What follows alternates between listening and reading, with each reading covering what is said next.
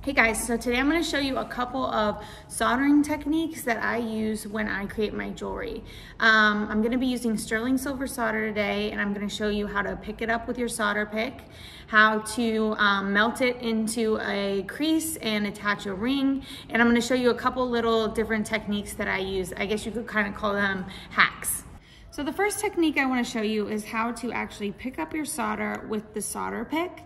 Um, so I like to use wire solder and today I'm gonna be demonstrating this with um, medium wire.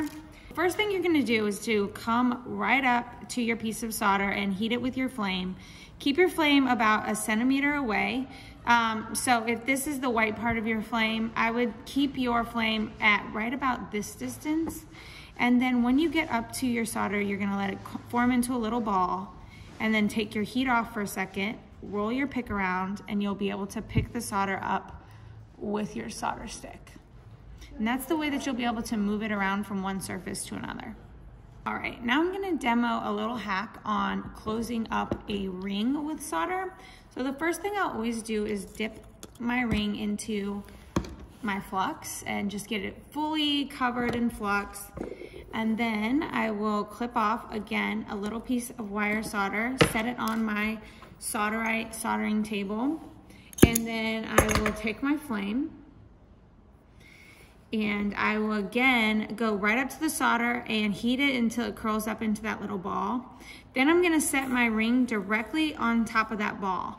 And the crazy thing about solder is that it's attracted to anything hot.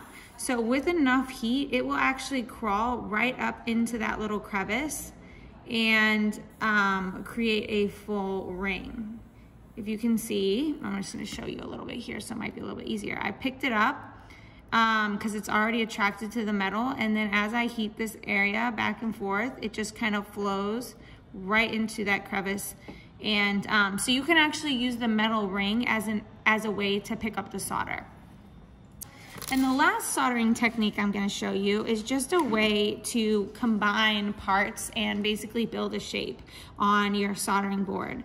So I'm going to again make sure that I add a little bit of um, flux to the spot where I'm planning to attach the two pieces. I'm using just brass rod in this, but I'm still going to use um, sterling silver solder wire. I'm using medium.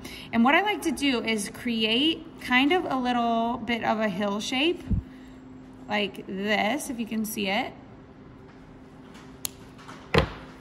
And then I'll take that little hill and I will set it right on top of the spot where I'm planning to, um, to solder. Sometimes I'm using uh, rod that's a little bit thicker, so that's why I just kind of use this shape.